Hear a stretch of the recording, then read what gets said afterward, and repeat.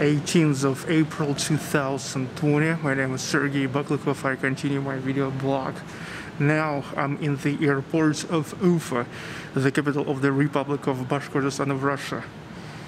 And airports, the way I never saw this like this before. Look, it's almost like a ghost airport.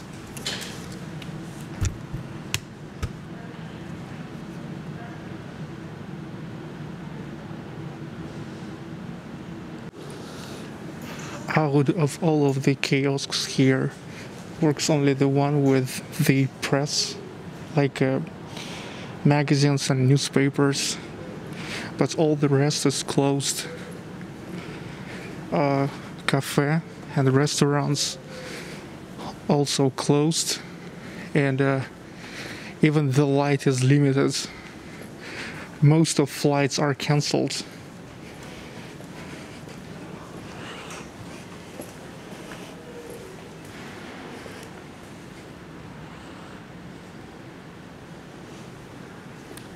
Look, what is red is cancelled, but 21.55, it's 10.55 p.m. St. Petersburg.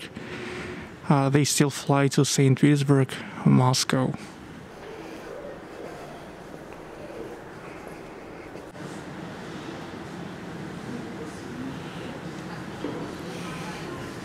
Victoria.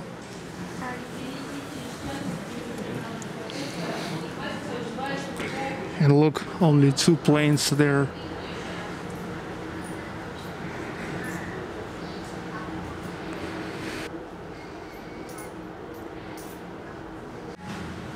Dudes, you have no idea how really weird it is.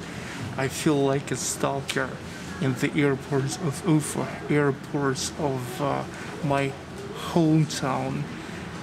This is an airport where I was flying to and flying from for so many times. And all the time here was nothing but a lot of life a lot of light uh, many people uh, announcements all the time announcements you know. Um, all the kiosks were working coffee shops and little restaurants here. Uh, but now I don't even hear the announcements only few people here. Well this is really scary. The only advantage, if I can say so, that I went through the control check pretty fast.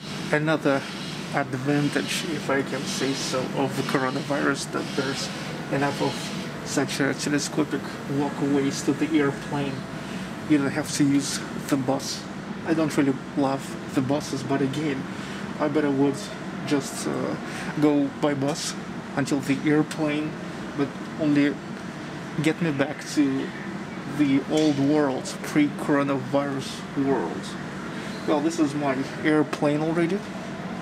Uh, Russia, air company, Russia, Russia. This is a, a daughter company of Aeroflot, which is the biggest air company of Russia. Oh the first announcement because previous flights was only in a lunchtime. Now here will be two flights, only two flights to Moscow and St. Petersburg and that's it. The next one will be only in the morning. It's weird, it's absolutely weird. Well, I was expecting something like this. Imagined here will be not too many people, but um, the reality appears to be way more weird. And that's why actually when everything getting weird, more weird, I decided to take this risk and uh, to be with my family all together in one place. All my family connected all together in our own place, to be isolated in our apartments and uh, stay there. Um, it's important to be all together. Um, okay, so it's time to for boarding. They gave a little bit more of light for a boarding. It doesn't seem like there will be at least one third of the seats in this plane. But the airlines, Russian airlines, got 23 billion rubles as a subsidies to keep it going.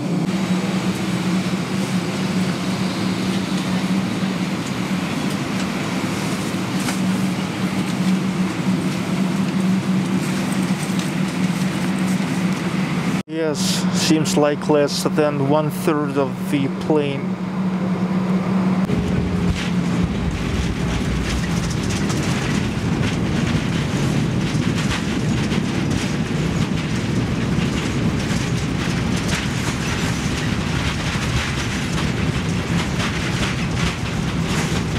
Not many people in St. Petersburg airports as well. This is Pulkovo Airport.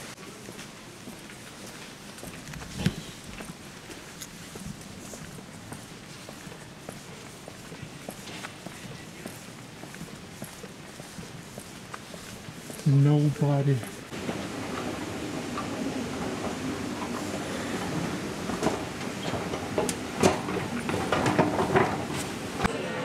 McDonald's works for takeaway,